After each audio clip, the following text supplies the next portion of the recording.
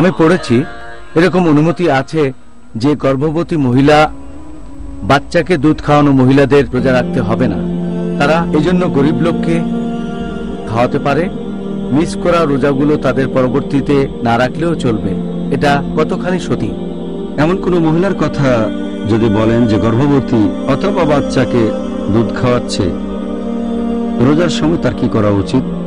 এ ব্যাপারে অনেক মতভেদ আছে। বিশেষজ্ঞগণের দুটো দল আছে। একদল বিশেষজ্ঞ, তারা বলেন যে তাকে পরে রোজাগুলো রাখতে হবে না, যেটা করতে হবে সে তার মিস করা প্রত্যেক রোজার জন্য একজন গরিব লোককে খাইয়ে দেবে। এটার ভিত্তি পবিত্র কোরআন সুরা বাকারা অধ্যায় দুই, আয়াত নম্বর একশো চুরাশি, যে তোমার রোজা রাখা কষ্টকর হলে একজন অভাবগ্রস্ত লোককে খাইয়ে দাও। একটা হাদিসের বর্ণনা দিয়েছেন ইবনে আব্বাস, এটা আছে সুনান আবু দাউদে। খণ্ড নম্বর দুই বুক অব ফাস্টিং হাদিস নম্বর দুই হাজার তিনশো এগারো, যে ইবনে আব্বাস রাজি আল্লাহ আনহু এই আয়াতটার ব্যাখ্যা দিয়েছেন, সুরা বাকার অধ্যায় দুই, আয়াত একশো চুরাশি। তিনি বলেছেন, এখানে তাদের বোঝানো হয়েছে যারা অনেক বয়স্ক, বৃদ্ধ পুরুষ বা বৃদ্ধ মহিলা, আর যে মানুষ অনেকদিন ধরে অসুস্থ আছে, তার সুস্থ হওয়ার সম্ভাবনা কম। তিনি আরও বলেছেন যে, এদের মধ্যে বাচ্চাকে দুধ খাওয়ানো মা আর গর্ভবতী মহিলা আছে। তবে শেখ নাসিরুদ্দিন আলবানির মতে এই হাদিসটা জয়ীফ। মানে দুর্বল হাদিস। তবে আরও একটা হাদিস যেটা আছে দারাল কাতনিতে, সেখানে ইবনে আব্বাস রাজিয়াল্লাহ বলেছেন একজন উপপত্নীকে যে, যেহেতু তুমি গর্ভবতী, তোমাকে রোজাগুলো পরে আর রাখতে হবে না। তোমাকে দিতে হবে ফিদিয়া, মিস করা প্রত্যেকটা রোজার জন্য একজন গরিব লোককে খাওয়াতে হবে। কথাগুলো বলেছেন একজন উপপত্নীকে। এটার ভিত্তিতে এই দলের বিশেষজ্ঞগণ বলেন, তাকে পরে রোজাগুলো রাখতে হবে না। দিতে হবে ফিদিয়া, মিস করা প্রত্যেক রোজার জন্য একজন গরিব লোককে খাইয়ে দিতে হবে। তবে অন্য দলের বিশেষজ্ঞগণ বলেন যে করোনার এই আয়াত, সুরা বাকারা অধ্যায় দুই, আয়াত একশো চুরাশি, গর্ভবতী বা বাচ্চাকে দুধ খাওয়ানো মহিলারা এই ক্যাটাগরিতে পড়ে না। আর এর পরের আয়াত বলছে, সুরা বাকারা অধ্যায় দুই, আয়াত একশো পঁচাশি বলা হয়েছে, রমজান মাসে রোজা রাখো, তবে যদি কেউ অসুস্থ থাকে বা ভ্রমণ করে তাহলে সেই রোজাগুলো সে পরে রাখতে পারে।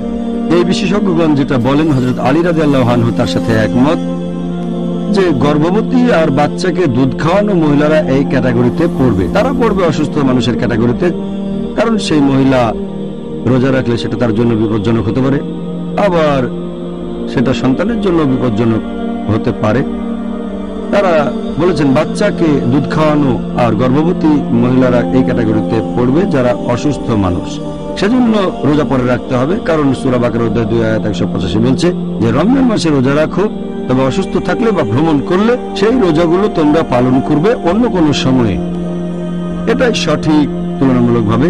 অবশ্য তৃতীয় আরেকটা দল আছে, তারা বলেন, ঝুঁকি থাকার কারণে যদি রোজা না রাখে, তাহলে সেই সময়ের রোজাগুলো সে রাখবে পরে অন্য কোনো সময়। কিন্তু যদি সেই রোজা ভেঙে ফেলে, কারণ সন্তানের জীবন হুমকির মুখে ছিল তাহলে পরে সেই রোজাটা রাখার পাশাপাশি তাকে দিতে হবে ফিদিয়া, একজন গরিব লোককে খাইয়ে দিতে হবে।